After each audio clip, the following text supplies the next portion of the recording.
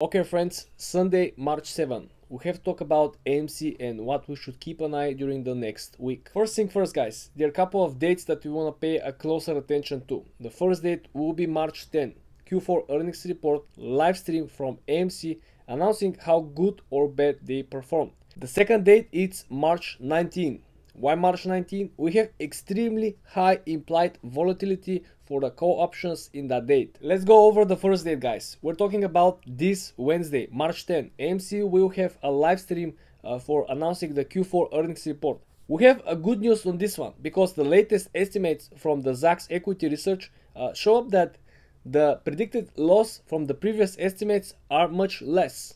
So on the good side, we're expecting a much better uh, performance for AMC the analysts actually raised their ex expectations and their estimates for what will be the loss on EPS for AMC. So if somebody of you guys looking to purchase uh, AMC stock on discount, probably this will be the date. The earnings report will be announced on Wednesday at 4 p.m.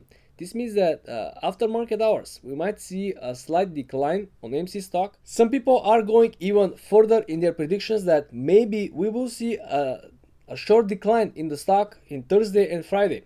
But guess what? The following week, things will become much more interesting. Here, we're talking about the second important date in this month that we want to keep a closer eye to. So guys, the implied volatility for March 19 is extremely high. We're seeing that the options $130 per AMC are the most sellable. Why the implied volatility is very very important for the future prediction of the stock price movement.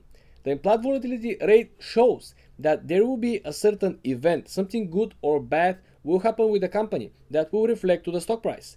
But that's not necessarily means that the stock price will go up. Sometimes the stock price will go down. Sometimes the catalyst is actually negative. So nobody knows what exactly will happen, but definitely want to pay closer attention to March 19. Some people on Wall Street Bets are actually commenting that if they look at the pattern of the options trading for AMC in this particular day, they find a very very high similarity in the call options traded for GameStop during the last month. So guys, don't get demotivated or don't get too excited. Okay, we have to be uh, very very focused. We have to uh, trade with responsibilities. We don't trade overreaction or we don't trade anything that is based on pure speculation. The both dates, the both events can have a good and bad impact. Also, on the other side, we saw that the both dates might not have any effect over the AMC stock price. And last but not least, guys, during the last three weeks, we saw a major sell-off on the stock market.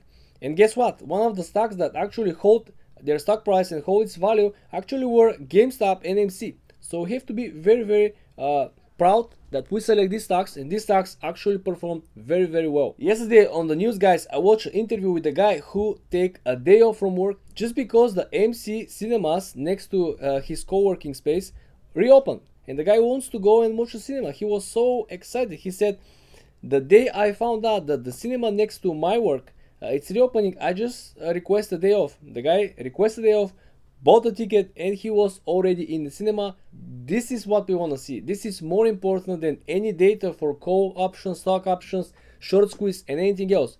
More people going back to the cinemas uh, having amc record breaking q first of 2021 will be a game changer. Thanks again for watching guys. Please subscribe to the channel. Share this video with all of your friends who hold AMC. Let's go and watch our favorite movie in the cinema next to our home. Peace, guys.